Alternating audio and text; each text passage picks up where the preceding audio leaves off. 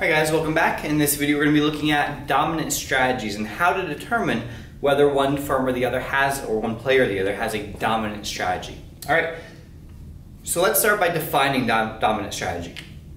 A player has a dominant strategy when they have a single course of action is what is best for them regardless of what the other player does.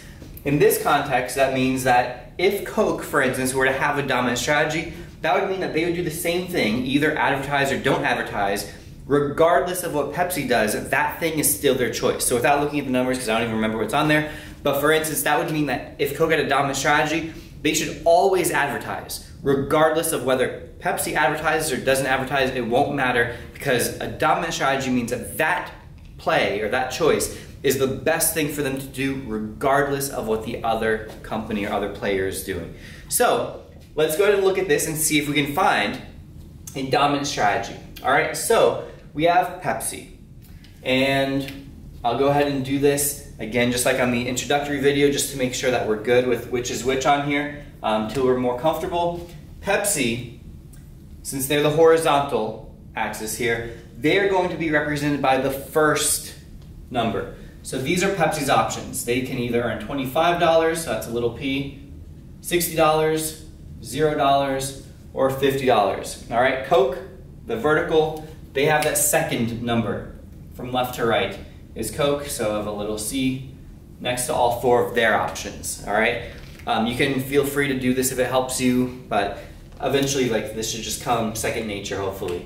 So what we need to do is we're gonna go through these, let's, we're gonna start with Pepsi, all right? We wanna know if Pepsi has a dominant strategy. What that means is we wanna know what should Pepsi do depending on what Coke does. If Coke advertises, what's better for Pepsi to do?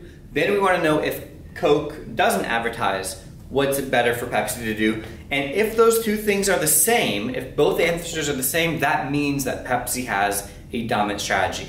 If they are not the same, then they don't have a dominant strategy. It is as simple as that. So let's get right into it. So Pepsi can advertise or not advertise. Coke has the same two options, advertise or don't advertise.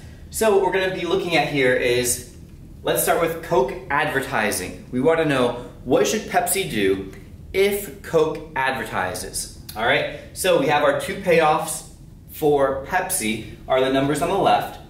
Pepsi can either earn, so if Coke advertises, Pepsi will earn $25 if they also advertise, or they will earn $0 if they don't advertise.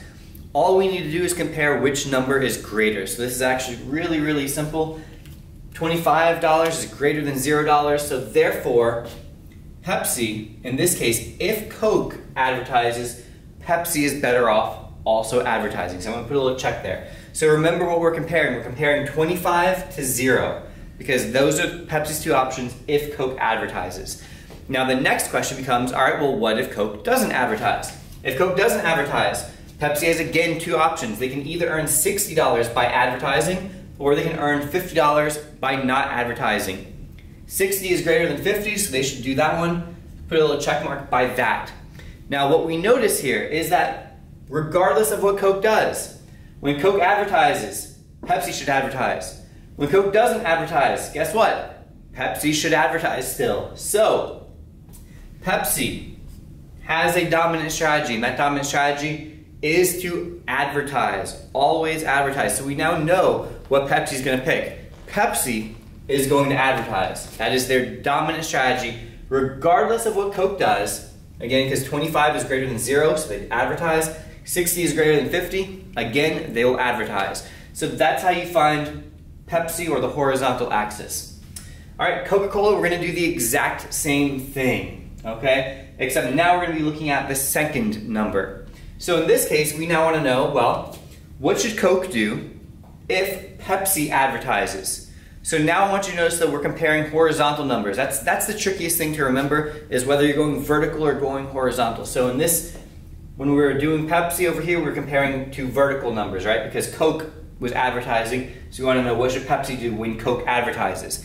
Now it's the opposite. We want to know what should Coke do when Pepsi advertises. That means we have to stay in this horizontal row, okay? So we're going to be comparing $25 if Coke advertises to $0 if Coke chooses not to advertise. Again, clearly, $25 is greater than zero. So if Pepsi advertises, Coke is better off also advertising. Okay? If Pepsi decides not to advertise, we're going to compare again $60 here for Coke or $50 for Coke. 60 if they advertise also, 50 if they don't advertise. So 60 is greater than 50, so that's going to be Coke strategy. Now what do we notice? For Coke, both of them are in the advertise column. So for Coke, always advertising is better than not advertising. This means that Coca-Cola also has a dominant strategy. That dominant strategy is to advertise. I'm gonna put the check mark above there. So what's gonna happen in our payoff matrix? We're gonna end up in this first quadrant where they were both going to earn a profit of $25 because that is their dominant strategy. Uh, one thing I didn't touch on, and I probably should have in the intro video, notice that this is not the best outcome for Coke and Pepsi, is it? The best outcome is if, the best joint outcome is if neither of them advertise. They each earn $50 profits, double the profits they're gonna earn with their dominant strategies. But their dominant strategy is based on that idea if they don't advertise and the other one does advertise, their profits go to zero. And so as a result of that, and the fact that zero is less than 25, and the fact that 50 is less than 60, they are both enticed to advertise, which is actually going to cause their profits to drop in the long run because of that huge amount of money that they now have to spend on commercials and advertisements. All right, so that's the basic idea. So here you have an example where both Coke and Pepsi have a dominant strategy. So our market will be in equilibrium in this quadrant here with $25 profit for each one. All right, until next time, this has been a LaMoney production.